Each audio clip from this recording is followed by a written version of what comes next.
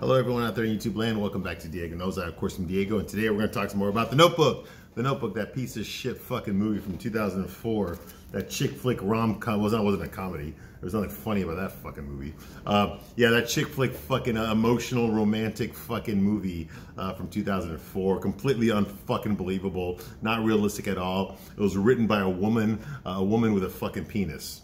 Okay, that means that this woman does not understand what a fucking man is. Okay, there are no men in this fucking movie. No men at all. All right, and they're definitely not the protagonist, not the lead character. All right.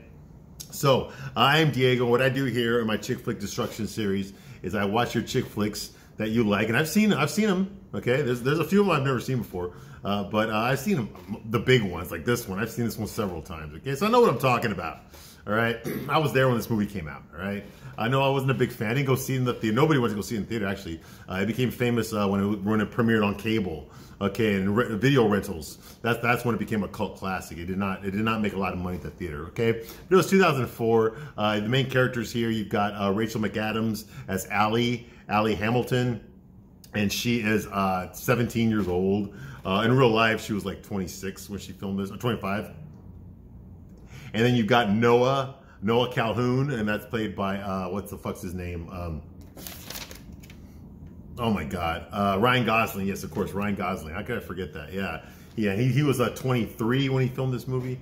Okay, uh, yes, they dated in real life. Okay, so it's best these two protagonists that fall in love with each other. Now, this movie's told through flashbacks. Obviously, you got James Garner uh, plays the 75 year old version of Noah, and uh, Gena Rowlands, who is the director Nick Cassavetes' mom. Yes, he cast his mom in the fucking movie. Uh, she plays the 75 year old, or the, I guess the 70 year old. Uh, fucking uh, what's her name? Allie, Allie, um, yeah, Allie Hamilton or whatever. Okay, but or Allie Calhoun because I guess they're married. All right. Uh, so we've already seen this movie. You already know what I'm talking about. What I'm going to give you here is a straight man's point of view. Okay. I do not censor myself here. Okay. So if you're easily triggered, if you're easily offended, get the fuck out right now. Okay. I will not censor myself. Okay. And but I have no, I have no, uh, nothing to gain by lying to you. So I'm going to tell you the truth from a straight man's point of view. That's what I do here. The real question is, can you handle it? Can you handle the truth? Because I don't think you can. All right. I'm going to tell you what your dad didn't tell you, what your boyfriend ain't going to tell you, what your husband ain't to tell you either. Okay. I'm to tell you the fucking truth all right, about these fucking chick flicks and these fucking rom-coms, okay? The Notebook, I've been waiting on for a while, okay? Now, I've already reviewed other shit. I, I reviewed every episode of Sex and the City is on here, is on this channel, including the movies and that new piece of shit show. I already reviewed uh, Romeo and Juliet, uh, uh, League of Their Own, Thelma and Louise, fucking uh, Pretty Woman. Okay, I've already reviewed all that shit, okay? It's on here. It's, on, it's already on this channel okay? And now I'm reviewing the notebook, all right? Now this is actually part two of my review, all right? So where I left off last time, okay, uh, we have, uh, I've already, we've already been introduced to fucking uh, Noah. Uh, he's not called Noah yet. We don't know. We're not supposed to know. You know, yes, spoilers. I spoiled it. Big fucking, you've already seen the movie or else you've been watching this, all right? Uh, yes, uh, James Garner is actually Noah Calhoun, okay? But he's called Duke. Okay, they don't reveal the name of Gena Rowlands' character, but we do find out later on that it's Allie, okay? So they're in an old folks home, and uh, Allie has a dementia. She has early senility. They don't call it Alzheimer's; uh, they call it something else. It's an early dementia. Okay, so basically she forgets things. She doesn't remember her husband. She doesn't remember her kids. She doesn't remember how she got to where she is. Uh, some days are better than others. Some days she'll actually remember who she is and what's going on and why she's in, in this in this nursing home. And then other days she'll she'll she'll draw blank completely. Okay, but her husband, uh, who sometimes she doesn't remember, realizes her husband. He lives there too. Okay, he's an old man and he reads to her from this book. Okay, hence the title of the movie, Notebook. All right, he reads her from this notebook, and even though it's supposed to be a bunch of notes, uh, he reads it like it's a fucking like it's a novel. Okay, like it's one of those trashy fucking uh, romance chick flick novels. That's that's the verbiage they use. Okay, when he's reading, uh, when he's quoting the book. Okay? And then the young man and the beautiful woman held hands together, and magically fell in love. Well, no one writes their fucking journal that way, okay? But that's what he reads from the fucking notebook when he's reading to her. And he does this to get her to remember who she is. Okay, so every day uh, he tries to read to her a little bit more so that she will remember who she is, so that she will remember him. Okay, uh, it's kind of sad, But I understand it. You know, he's he is that kind of person. As we watch this movie, we'll find out that the younger version of himself is like that. Okay, he's like he's like this patron of lost causes. He will continue to fucking do something even though there is no confirmation that he will succeed. Okay, he'll continue to fucking do something even though uh, uh, the chances that he will succeed are, are extremely unlikely. He will continue to do it. Why? Because he's a fucking idiot. All right, but anyway. Let's move on to it, okay? So he starts reading about the story about how they first met. They met at a carnival in Seabrook, uh, North Carolina, this very racist uh, place in 1940, okay? Um, so she comes from a very wealthy family, very antebellum, okay? Uh, Southern accents, you know, the white, the white, you know, think Boss Hog from Dukes of Hazzard, okay? Okay, she comes from a very privileged uh, white family. All their servants are black, Okay, the servants are basically slaves. Uh, they just get paid. Okay, she comes from a very privileged uh, family. Okay, uh, her parents are very active in her life. They have a very they structure her entire life. They already decided where she's going to go to college and what she's going to do for a living and what type of man she's going to marry. Okay, so we don't know that yet, but this is what we we learn about her. Okay, and then we're introduced to Noah. He's a poor guy. He works at a fucking lumber yard. He works. He lives with his dad. I don't know what happened to his mom. I don't know if his mom ran off or, or something, or if she died. I don't know. Uh, they might reveal that later on in the movie, but I don't remember if they did. Uh, basically, he lives with his dad. Okay, and he works at a lumber yard. He's poor. You can tell by the clothes that he's wearing and the clothes that she's wearing, and she, the guys that she's with. Okay, they're they have expensive clothes on for 1940, and he's dressed like a fucking like a country bumpkin because he is. He is. Okay, he's a very blue collar guy. All right. So he says he's at a carnival. He looks at her. Of course, he fucking falls in love with her immediately. Okay. Now I already mentioned before that it is capable. Guys are capable of fucking falling in infatuation immediately and lust immediately, but falling in love. Well, you could say that he's not in love with her yet until later on. Yeah, but that's not the theme of the movie. Okay. He once he meets her, his entire life is based on making her happy and keeping her in his life. That doesn't change at all. Okay. He never gets mad at her, really. He never fucking like like gives up on the idea that this girl is going to be his woman. He's already convinced himself this is this is the woman he's going to spend the rest of his life with. Okay, despite the fact he doesn't even fucking know her yet. He's already convinced himself of that, and he will continue that throughout the entire fucking movie. Okay, now does that make good for a fucking chick flick? Yes, it probably does. It's very un- unrealistic and unbelievable, but so is fucking Infinity War: The Avengers, and I love that movie. Okay, but it's not it's not um it's not realistic in a fucking in, in real life is what I'm talking about. Okay, uh, even people that fall in love at that young age, okay, they go through a lot of shit in their life. Okay, before they get to the point where they just rely on each other so much. Okay, we don't really get to see that yet. Okay, a big portion of, of, of, the relationship that he has with his wife is left out of the movie. We see them in their in their 20s to their late 20s, and then we see them as old people, and that's it. There's a big chunk in there that we don't know about. Okay. Anyway, but, I, but I'm I'm going too forward. All right. So it's 1940. They meet at the carnival. He actually just comes, walks right up to her, which takes some balls. But you know, it was 1940. This was the generation that won World War II, which has not started for us yet. Uh, you know, Pearl Harbor hadn't happened yet. It's going to happen in another year. Okay, so guys had more guts. They there was no there was no social media back then. You couldn't just swipe right or left on someone that you liked. Okay, if you saw someone you liked, you went up to them, and started talking to them. That's how you did it back in the old days. I know you don't do that anymore, but that's how they did it back in the old days. So he went straight up to her. But uh, I think I think what was kind of unrealistic and what, and what I would have critiqued him on, he got right in her face. Basically, she mentions it a little bit later. She's like, "Oh my god, he was like two feet away from me."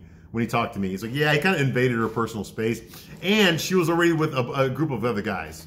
Okay, she was doing fucking the, the, the bumper cars. All right. So when he approaches her, he says, "Hey, you want to go out with me?" He didn't say, "Hey, my name's Noah Calhoun. Who are you?" Okay, nice to meet you. I would like to know if you'd like to go out with me. He didn't do that. He's like, "You want to go out with me?" She's like, "No." Well, why not? Because I don't want to. You know. And then the guy, the guys that she's, the rich guys that she's with, hey, uh, uh, she's with us. You know. You know. And, hey, how'd you like to go on the on the Ferris wheel with me? she's like, "I'd love to." And then you're like, oh, what a bitch. Okay. All right. Now, and now, yes, maybe he deserved it. Okay. Because he was way too forward. Okay. He didn't fucking go in. He had no segue. He just went right there. Hey, you want to go out with me?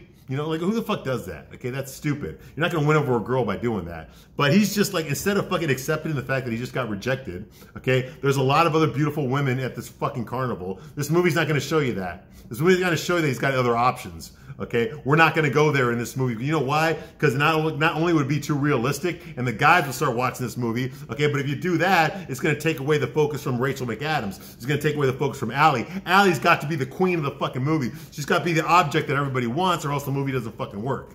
Okay, so we just have to go along, just go with it. That fucking all he can think about. He's got tunnel vision out the ass Okay, he just wants this girl and nobody else ever in his life. Okay, and that's bullshit. It's just not realistic. Okay, if a guy has the kind of confidence where he can go up to a girl just like that and say something fucking stupid and recover from that, okay, he's got the confidence to do that to a whole bunch of girls. Eventually, he's gonna find a girl that's gonna want him. Okay, and I'm guessing he only likes pretty girls because I mean Rachel McAdams is a pretty girl. Okay, despite the fact she's got a big mole right here and right here that I can't get my eyes off of. Okay, despite that, she's a pretty girl. I mean, she's got great legs. All right, yeah. All right. So if he's the kind of guy that can do that, that has the confidence to go up to a girl right to their fucking face and ask him out like that, and then not give up, then he's got the confidence to do that to a whole bunch of girls. And there's a lot of fucking girls at this carnival. Okay. So I don't believe that he would end up with her, uh, but I believe that maybe she would be like the 15th or 16th girl that he hit on at that carnival. Okay. And then he then he gets to with her. Okay. That's a lot more realistic. Not only that, it makes him more attractive. You know why? Because if, if one pretty girl likes him, all of a sudden other pretty girls start liking him. But if no pretty girls like him, no girls like him. You see what I mean? That's kind of how it works, all right? So if she knew that there's other women that will take him, if she don't, that would make her more attracted to him. Okay? But since that's not happening here, you just have to go with it. If anything, it's the other way around. There's a whole bunch of rich guys around her, and he's trying to fucking get through them to get to her. Okay? Which is not very realistic. Like I said, in real life, it's the other way around. Okay? In real life, it's the guy that's got the other girls around that makes the guy more attracted to the one girl. Okay, uh, but not not in this situation. All right, but like I said, uh, this movie was written by a woman, a woman with a fucking penis named Nicholas Sparks. So anyway, so she so she blows him off. He does not take no for an answer. He watches her. He stares at her like a fucking rapist would. Okay, and while she's uh, on the Ferris wheel with this other guy, this rich guy, he decides to jump on the fucking Ferris wheel. Okay, and he immediately sits in between them. Okay, he's like, hey, Remember me? I just want to know why you won't go out with me. You know, that kind of bullshit. Like, you know, this is like stalker behavior. This really is, okay? Now, she's not really impressed with him. Uh, she told her girlfriend after he she shot him down, she told her girlfriend Sarah that, hey, can you believe he got right in my face like that? And she tells, oh, yeah, he's a poor guy. He works at a lumber yard, lives with his dad, that kind of shit, you know?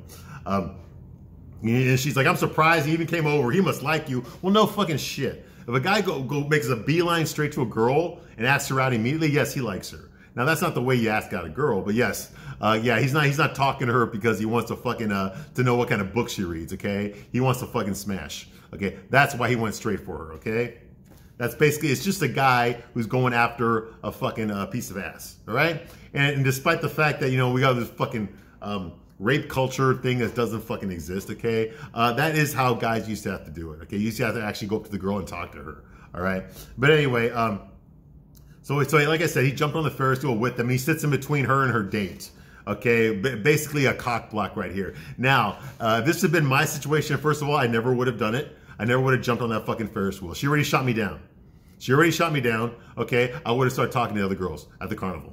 I would have started talking to other girls at the carnival. Eventually, I'm going to get one that likes me back. First of all, I'm only going to hit on the girls that I'm attracted to, number one. Okay, and eventually one of them is going to want to be with me. Okay, and that's the one I'm going to be with that night. Okay, that's how this shit works in real life. But this movie ain't gonna go there. The movie ain't, not gonna show him acting like a real man. It's gonna show him acting like a fucking pussy whipped. I'm hopelessly in love with a fucking chick. Okay, that I don't even fucking know. And for the rest of the fucking movie. Okay, and that's not realistic at all. All right, so he jumps on there. Now the guy that's there tells her, "Hey, you mind? You know, well he can't exactly jump off now. He's already on the fucking Ferris wheel, way up in the fucking air." Okay, Okay, and uh, you know, uh, stop the wheel. Okay, so um, the, the the guy stops the wheel. Okay, uh, the Ferris wheel conductor. And so what does he do? Uh, she tells him basically, hey, you can't have three people in, in, a, in a chair like that. So what he does, he jumps off and grabs onto one of the rails. Okay, so basically he's hanging in front of them like this. Okay, yes. Okay, uh, and, and he threatens to commit suicide. Yeah, okay, that's how you win a girl over, right? He threatens fucking suicide. This is telling us a couple of things about Noah Calhoun. He doesn't even give a shit about his own fucking life. Okay? He doesn't even give a shit about his own fucking life. What kind of a man do you think this guy is? Okay, how can a man like that, who doesn't even give a shit about himself, uh, support a woman, take care of a woman, worry about making a woman happy? You know? How can, how can a man like that accept a woman's love? He doesn't give a shit about himself. He would rather fucking risk his life just to get a girl to say yes to a fucking date. Okay, what kind of a man does that? The kind of man you do not want to date. Okay, very unattractive. Now, in this movie, plays it off. He's cute. Ryan Gosling's so cute. It's so romantic what he did out there. No, the threatening to kill yourself if a girl doesn't go out with you, it's not romantic. It's not romantic. I don't give a fuck who you are or what you look like. There's nothing romantic about that. Okay? That's fucking stupid. Okay? It's just another form of programming that men have to hurt themselves or threaten to hurt themselves in order to win, a woman's approval. That's the message that's being said here, okay? That's the single mom showing. Obviously, Nicholas Sparks had a single mom that raised him, okay? Because that's the kind of shit they fucking teach you, okay? You give up everything, make the woman happy. That's the most important thing. Your happiness doesn't fucking matter. Your life doesn't fucking matter. What is important to you does not fucking matter. The only thing that fucking matters, okay, is her happiness. That's your job, okay? That's a bullshit fucking narrative. Bullshit. And here it is displayed in 3D for you, okay? He's threatening to kill himself if she refuses to go out with him. And he's doing it while she's already on a date with another fucking guy. Okay, not realistic, bullshit flag. Lots of bullshit flags in this movie. That's another one, okay? So finally he does, oh God, I'm losing my, I'm losing my grip. I ain't gonna leave until you say you're gonna go out with me. You know, so finally she said, okay, yes, yes, I'll do it, I'll go out with you. Uh, uh, I didn't believe that. You, I want to say it again, I'm losing my grip. Okay, I'll go out with you. Okay, okay. You know, that kind of thing. It's just fucking stupid. yeah, yeah, suicide. The threat of suicide is gonna get a girl to go out with you. Get the fuck out of here. Okay, so finally she agrees. Says, okay, I want to go out with you. She said, you think you're so smart? And he's hanging there. So what does she decide to do? Okay, she decides to pull down his fucking pants. Because he's hanging with both of his arms, right? So she decides to fucking uh, embarrass him and pull down his pants. Okay, no, not the full Monty, not the full moon either. Just just to his fucking his boxers, okay? Now let me tell you something, okay? If this had been me, hanging from there, which it wouldn't be me. I never would have done that. Okay, I actually give a shit about my fucking life. Okay, um, if that had been me, I'd be like, baby, you know what?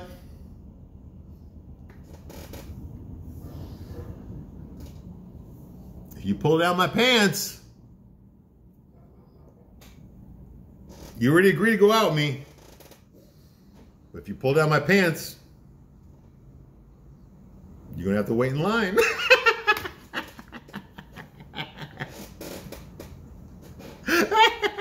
out here in front of everybody? Yeah, you're gonna have to wait in line. okay, that's a joke. That's a joke. All right, but that's the point. So she no, she doesn't pull down his fucking. That that that's what she should have done. But no, she just pulls down his pants. Now he's already fucking about to fucking die. Okay, hanging from the fucking Ferris wheel, and then she's gonna humiliate him on top of that. Like he hasn't humiliated himself enough. Okay, like her agreeing to go out with him because he threatened to kill himself. That's called duress. That's not. That's not. You can't take that seriously. Okay um, that, that, that he would hold her to her fucking, you know, she said that so that he would fucking come down and not kill himself. Okay, so now you have to emasculate him on top of that. He's already emasculated himself. Why do you have to add to that? Okay, it's like it's like a guy who who gets beat up. All right, he's on the floor, he's in pain, he lost the fight, and then a girl goes up there and kicks him in the face. He's already down. Okay, why would you do that? Because she feels entitled to fucking hurt this guy because he is so willing to hurt himself. Okay, you see the pattern here? You see, you see this the foundation of this relationship right here? Exactly. That's what I'm talking about. so anyway, the next day or something, uh, he sees her. It's daytime now. Okay, and he sees her. She's in a very expensive dress. She looks really good. I mean, hey, Rachel McAdams is a pretty girl. It's very thin. You know, she looks very feminine. The flower in her hair, her hair done 1940 style. You know, uh, heels. You know, she's got a, a summer dress on. He approaches her okay, and, and, he apologizes to her for the way that he like. How can you apologize for fucking uh, threatening to kill yourself? All right, she doesn't know this guy. If I was her, I, I would fucking stay away from him. I wouldn't even uh, bother to talk to him. Okay, like how dare you, motherfucker? You know, I, I thought you were. I thought I was gonna watch you fucking die in front of me. Okay, that's why I agreed to it. And now I really, you don't even give a shit what you did to me. You scared me. All of a sudden, you put you put your life in my fucking hands. Who the fuck do you think you are to do that to me? That's what I would have done. That's what a feminist would have done. But no, not here. Not here. She decides just to emasculate him some more. Okay. Um, he approaches her pie. He says, "I was being, I was being drawn to you." That's what he says. This is what he tells her. He says, "I was being drawn to you." Now, what about our date? You promised. And when I, it's just when I see something I like, I gotta, I got, I, I gotta love it. I gotta love it. He stops himself there. Yeah, you know, you're a fucking rapist, motherfucker. She's like, your lines are so good. Obviously, she's being sarcastic. Your lines are so good. Oh my God. They're like so good. I am so impressed. I mean, they're fantastic, really. He's like, oh, no, no, no. Don't be like, let me emasculate myself some more so you know that I'm being sincere. You know? He's like, I can be fun if you want. I can be smart, superstitious, I'm light on my feet. I can be whatever you want. Just tell me what you want, and I'll be that. See what I mean? In other words, emasculation, okay? He's giving up his fucking masculinity for her. He's offering, he's, he's, fucking, he's slaying it and, and giving it to her on a fucking silver platter. I have no testicles. Here they are. They're yours now. You didn't ask me for them. I'm just giving them to you. Do whatever you want. Cut them up, eat them up, feed it to your dog. I don't give a shit. Whatever you want, I will give it to you. Because I just fucking met you yesterday. See what I mean? This, this is not it's not a good message. It's not very realistic. The kind of the kind of guys that actually do this in real life, because yes, they do exist. The kind of guys that do this in real life are not the guys that uh, women find attractive. Okay, these are the guys that cannot get women, that they feel that they have to do this to get a woman. Okay, Ryan, sorry, but Ryan Gosling doesn't look like a guy who's gonna have a hard, a super hard time uh, getting a girl. Okay, he's the best looking guy in this fucking movie. Okay, he's the heartthrob. He's the focus, uh, the main protagonist, the main love interest in this movie. There's no better looking guys really uh, that are as grounded as him in this movie. Okay, I mean later on they'll get to James Marsden, but he's he's a fucking cuck. All right, he's just there to offer his masculinity to her on a silver platter that she did not ask for. He's basically saying, make fun of me. You can cut off my dick. You can, you can tell me I'm a piece of shit. You can kick me in the fucking face. You can stick a beanpole up my ass. I don't care. It's okay. Just as long as you smile at me and go out with me. You see what I mean? That's basically what's going on here. Uh, there's no self-respect. This guy doesn't understand what self-respect is. He's not a real man, like I said. All right. Basically, that's what, that's what he's saying here. Okay. And uh, knows like I can be fun. I can be whatever you want me to be. I'll be that for you. And I was like, you're dumb. And he's like, I can be that. and she, she, she says that she changed her mind about the day. That she made she made that promise to go out with him. That was under duress. She changed her mind about it. Okay, and he pesters her. Hey, but what about our day? When are we gonna go out again? What can I do to change your mind? And she's just like, and of course, she got a black servant that opens the car door for her to get in. And she's like, uh, you can figure that out on your own. Like, like so. Even now, she's telling him, "You better fucking uh, dance some more, you fucking monkey." You better fucking uh, entertain me some more before I even think about even letting you kiss my hand, much less go out on a date with you. You see, this is the fucking message, okay? That women are fucking like their stink don't their shit don't stink. Okay? That every woman is a fucking queen, deserves to be treated. No, no, some women are queens, most women are not. Okay? Now I do believe in treating a woman with respect. Okay? But a, a woman like this, and I not, first of all, I would never try to kill myself uh, to get a girl to go out with me. I would never do that, okay? But if I was just normally trying to talk to a girl and she was speaking to me this way, I would already read it. Okay, she wants me to fucking do a song and dance. She wants me to humiliate myself, okay, uh, for her amusement, and then maybe uh, she'll give me her phone number or something. Fuck that noise, okay? I am nobody's fucking cuck. I am nobody's fucking fool. I actually have something called fucking self-respect, and that's something that nobody in this fucking movie, none of the guys in this movie actually fucking have. Self fucking respect, okay? It's not about what people think. Or what do you think about yourself? Is this the kind of person that you are? You'll just give up your fucking whole identity for, for another person that they never asked for, that you don't even know? Because you got a heart on? No, no, this is stupid. This is fucking stupid. Simp, desperate man behavior. Okay, incel behavior. Anyway.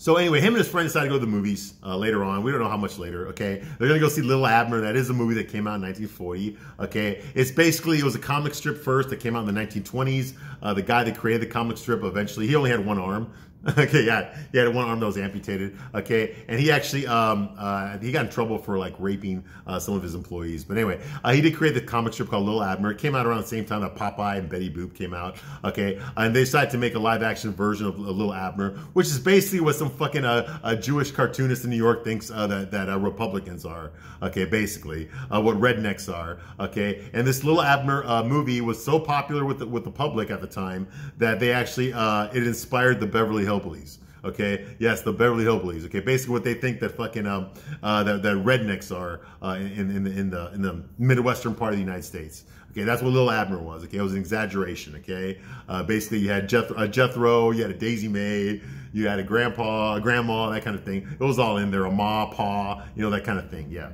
uh, Little Abner, which was a popular thing back in 1940. Okay, and it turns out that it was a it was a fix-up date.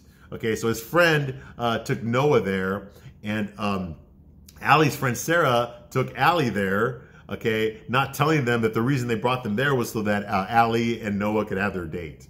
Okay, so of course, there's Allie's shocked, you know, and they're like, yeah, just go with it, come on, you know. Uh, so it was a fixed update, okay? Uh, so the friends, uh, so while they're watching Little Abner, okay, we noticed that the two friends, Sarah and, and, Noah's friend, I forgot his name, they're together. They're, they're already dating each other, okay, and they're making out.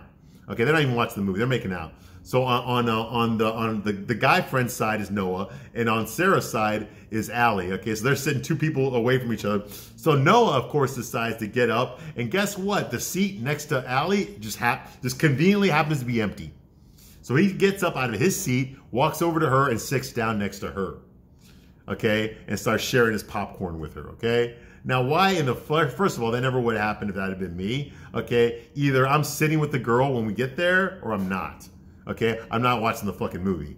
Okay, so if it had been me, uh, I never would have fucking sat down with my friends uh, in between me and the girl that I'm supposed to be on a date with. I'm gonna sit next to the girl that I'm supposed to be on a date with. And if she has a problem with that, okay, you watch the movie alone. I'm going home. Bye.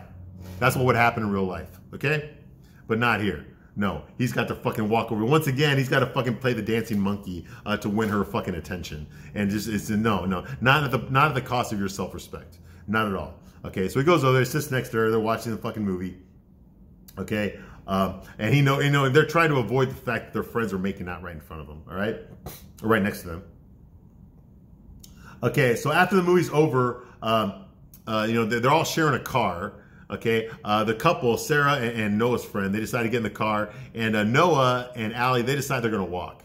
Okay, now the streets are fucking empty. Like I said, there's some boondock town, uh, Seabrook, fucking South Carolina. You know, in 1940, there's probably nobody in town at that hour. Okay, so the streets are all empty, the shops are all closed. It's very quiet. You know, and I mean they're in the South. You know, so they decide to go for a walk okay? And of course, the, the, the kids are, are, making fun of them, going, "Are you are you doing love? You all are in love, aren't you? Yeah, you're in love." You know, you know the, the, the shit you're not supposed to say when two people meet each other and trying to get to know each other. You know.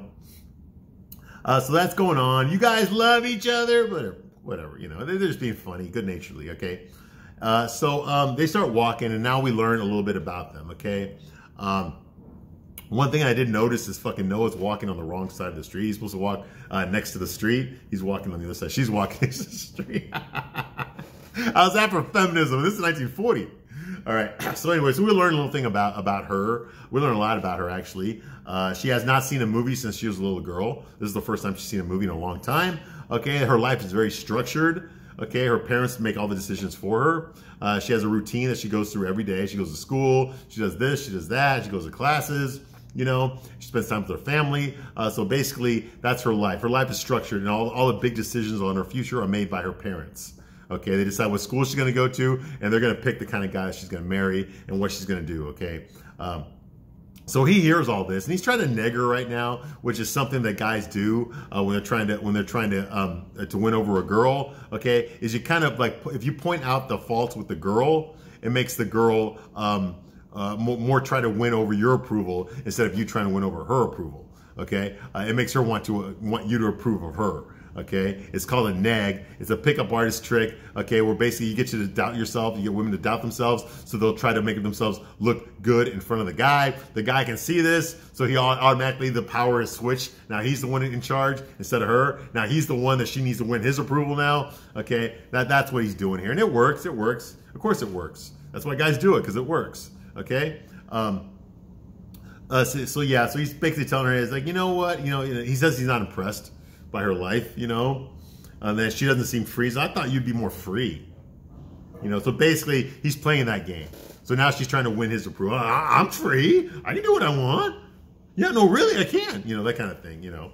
Um, so that's going on here. I goes like, all right, here, let me show you something. Let me show you something. Okay, so he decides to walk into the middle of the fucking street. There's no traffic and he decides to lay down in the middle of the fucking uh, intersection there. Okay, and he's spread eagle right there on the on the floor, in the middle of the fucking street, on his back. And he tells her some bullshit. Yeah, my dad and I used to do this. We just lay here and watch the watch the uh, the street lights change colors. Really, that's the thing people do, you know. Uh, and she's like, "Oh, it's crazy! You're getting hit by a car. Yeah, there's no cars around here right now. It's dangerous." You see, that's your problem. That's your problem, Allie. You don't do what you want. Well, yes, I do. So she decides to show him up and gets she gets down there with him and lays down uh, in the middle of the street with him. Okay. So she lays down there with him, and Allie, you know, she starts opening up to him about some shit. She's like, you know, I like to paint. Where the fuck did that come from? Okay, well, I guess it's because he asked her, like, you don't get to do what you want. She's like, yeah, I do. I like to paint. You know, I got all these thoughts going through my head, just bouncing around in my head all the time. Yeah, you know what? You know what it sounds like, Allie? You sound like a fucking stripper. Okay, you sound like a fucking stripper. And this ain't the only time you're gonna act like a stripper too. Okay. And all of a sudden, a car's like, burr, burr, and the, the light comes, ah, and they have to jump off, you know, before they get run over by the car. Although realistically, the car would have stopped once he saw them there until he saw them get up. Anyway, so that's going on. So they get up out of the way. Okay. Um, he's scared, and she's just giggling. She's like, yeah, oh my God, I almost got run over by a car. that was so fun. That was so fun. I almost got run over by a car. like that. Like, what the, what the fuck, man? You know what you are? You're a fucking psycho, okay? You're a stripper. You're a fucking stripper, all right? And I know strippers, okay? Yeah, you're, you're one of them. All right. So, um, yeah, he almost got run over by a car. She's all giddy about it, you know. And he decides that while she's over here laughing about how she almost fucking died, because I guess that's the theme of this movie, it's fun uh, to attempt to kill yourself. That's fun. That's a good thing. Uh, he decides to ask her to dance, even though there's no music around. Uh, so, of course, she agrees to it. So they start dancing, all romantic, like, you know, slow dancing in the middle of fucking street in the intersection. There's no no one else around. He starts humming a song. Uh, he starts humming um, uh, well, uh, "I'll Be Seeing You" by Billie Holiday. Okay, but uh, she's like, I like that song, but uh, not this version. so of course, that's when the soundtrack comes on in the movie, and you start hearing the actual song that they're that they're just humming. Okay, but they're dancing to the song, you know, uh, I'll Be Seeing You by Billie Holiday. Now, I like Billie Holiday. Okay, yes, I saw that movie. They did one on Amazon Prime or was it Netflix recently. Okay, but I also remember the uh, Lady Sings the Blues from 1972. No, I wasn't born back then. Uh, I saw that movie later after it came out. Uh, that was with Billy Dee Williams and Diana Ross played uh, Billie Holiday in that movie, Lady Sings the Blues. So I know who Billie Holiday is. I actually like a lot of her music. Uh, I like um, Stormy Weather is a great song. Uh, and so is You Are My Thrill. Uh, that was in the Watchmen movie, okay? You Are My Thrill. That's a great song, too. But she's also famous for this one, uh, you know, um, I'll Be Seeing You. And then she got in trouble. You've probably seen that Netflix movie about her, you know, where she got arrested for singing a song in public where she wasn't allowed to. And that the fucking, the black FBI agent, like, used her to fucking get information on her. And she actually drank herself to death and died of cirrhosis of the liver in 1959. Very sad, but she was a very talented singer, okay? Uh, so, uh, meanwhile, in the present day, the old woman uh, confirms that they fell. She's like, they fell in love, didn't they? You know, uh, Gena Rowlands now is like, they fell in love, didn't they? He's like, yes, they did. She's like, this sounds kind of familiar to me. Yes, probably is. I know something you don't. Anyway. Okay, so that's going to stop my review right now. Uh, and I'll be back soon with part three, and we will continue with the notebook. I thank you for watching this long, and I'll see you soon in the next one. Bye.